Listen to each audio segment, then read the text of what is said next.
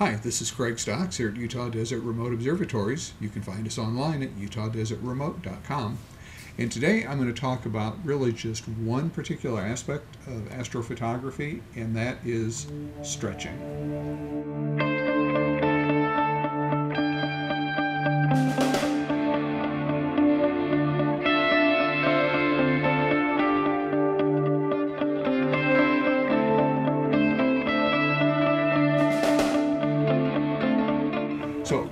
Probably heard the term stretching a lot, and what we do is just dig in a little bit into what stretching actually does and doesn't do.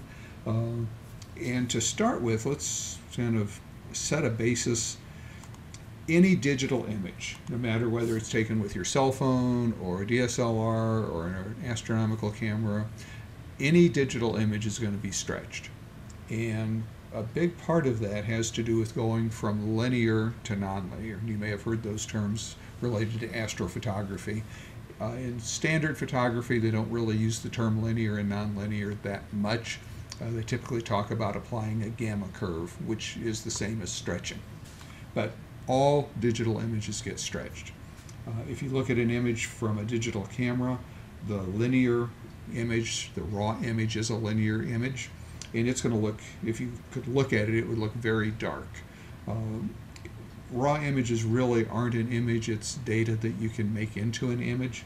And one of the things you need to do to make it into an image is stretch it or apply a gamma curve. And that takes it from being kind of dark to nice and bright and colorful and easy to see. Now that happens automatically when you take a picture with your phone or if the DSLR, if you're saving a JPEG the process of going from a digital sensor to an image you can look at on a computer involves stretching. Doesn't matter what camera or the source of the data.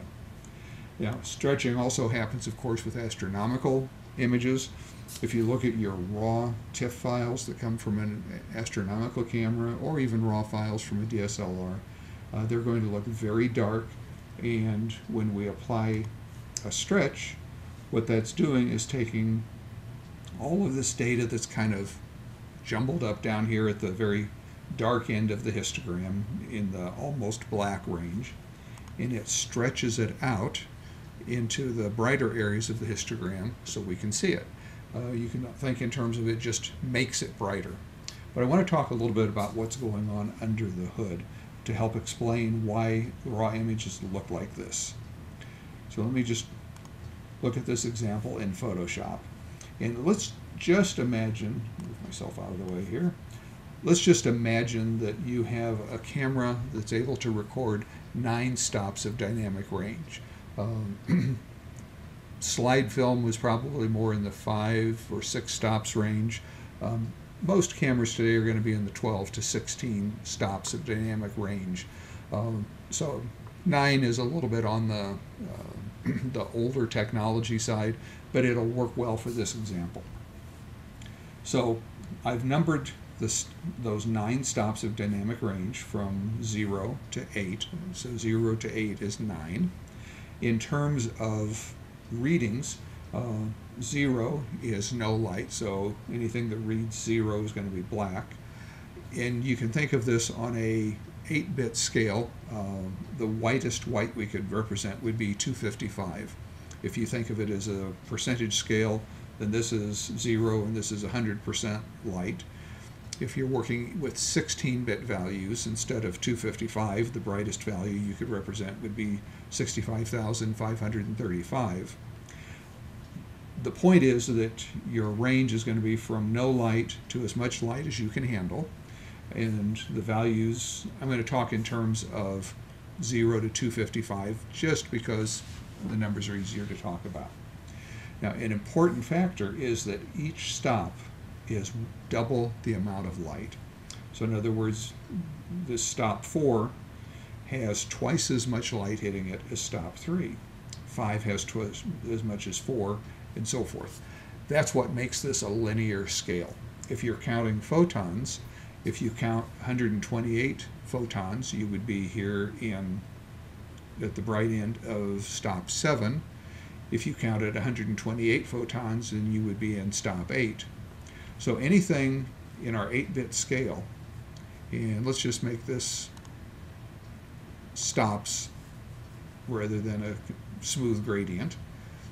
Anything that goes from 128 to 255, that's the brightest one stop of our nine stop dynamic range. Dynamic range. So 128 to 255, we actually have 127 discrete values that would fall into that first half of the range. The second stop of information falls in 64 to 127. So now we only have 63 discrete values instead of 127. The third stop down is 32 to 63, so now we only have 31 discrete steps, and so on down the line. So you can see by the time we get to the, the dark end, and even the whole dark half of this nine stops of dynamic range, the information is not uniformly distributed. Most of the information is up here at the very bright end, and the least information is captured down here in the very dark end. Uh, and even if you have 16 bits of resolution so that you have 32,000 to 64,000 and so forth, you're still down into just a, you know, maybe a do few dozen steps difference in these lower dynamic, lower steps of dynamic range. And of course, in astrophotography, almost everything that's of interest to us lies down here in the dark end. And that's one of the reasons that bit depth and capturing lots of data is so important is we're trying to build up more signal down here in these areas that get very little signal and very few uh, photon hits. Uh, this is oversimplified, but the principle is correct.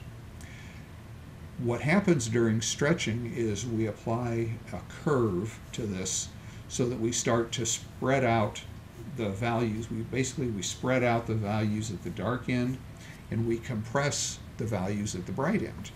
So if I convert this from the sensor reading values to RGB values by applying a curve of some sort, and if, then if we measure these values, we find out that this stop 8 or stop 9, the brightest section, actually has RGB values of 230 to 255. The next group down is 202 to 229, 175 to 201. So we have around 25 or so discrete steps within each one of these uniform steps of brightness. That's what going from linear to nonlinear does. It spreads out these values, and hopefully you have enough discrete values that you can, if you only have zeros and ones and you're trying to make zeros to 17s, you're going to wind up with just a, a, band of information. The same way with this 18 to 48, you know, you would have just two discrete values if you only had eight bits of detail. If you have 16 bits of detail, then instead of 1 to 2, this might be 100 to 200. Uh, you can basically work the math going backwards from 65, 535, just keep dividing in half for each one of these nine stops. If your camera has 16 stops of dynamic range, which for instance an ASI 6200 comes pretty close to that, um, then you would start with 16 of these and keep dividing in half all the way down. Regardless of how much information you capture, the brightest half, that brightest one stop, is always going to be in the top half of the data. And that's just the way data works. That's just the way electrons work uh, going from 2,000 electrons to 4,000, I'm sorry, photons. 2,000 photons to 4,000 photons is one stop of light, and you're trying to capture 16 of those. So when you get into PixInsight and start stretching, what you're doing is converting these sensor reading values to RGB values that are spread out more uniformly so that we can see them on the screen so if I look at this image, this is the unstretched RGB image. The last thing I want to talk about is the screen transfer function because there's really two modes of doing an auto stretch in PixInsight. If we do an unlinked stretch, what it's going to do, Uh, this color image is actually made up of three channels, red, green, and blue. And let's just open all of those. So this is the blue with an auto stretch. This is the red with an auto stretch. This is the green with an auto stretch. In this case, they don't look a lot different to us, but when you combine them, they do look a lot different. Now, when I do an auto stretch, it is stretching each one of these channels, red, green, and blue, each one of these filters, to a uniform brightness. So it's not stretching them the same amount, it's stretching them to a uniform brightness so that they're kind of evenly balanced. So if I go to my RGB combined image, if I do an unlinked stretch, it's not doing what we just did with each one of the RG and B channels. What it's doing is stretching each one to a uniform, I'm sorry, it is doing what we just did. It's stretching each one to a uniform brightness. And if you look at the sliders, uh, you can see in the red channel, the green channel, and the blue channel, the black slider and the midpoint slider, and you can see that each one is different. So it's kind of doing an auto white balance when you do the stretch. If I do a linked stretch and refresh, now it's stretching each one of the images the same amount. Uh, and that's when you start to see this kind of a color cast. So it's important to understand and keep track of whether you're doing a linked stretch, which maintains the relationship of the relative brightness of the three channels, or an unlinked stretch, where you stretch each channel to a similar brightness level so that you are doing kind of the same thing as an auto white balance. In my next video, we're going to dig more into color and white balance and ways to control color in astronomical photos. Hope you found this helpful. I tried to keep this one short. If you have any questions, drop those in the comments. And as always, I hope you have a great day today and an even better night tonight under a clear, dark sky. Thanks.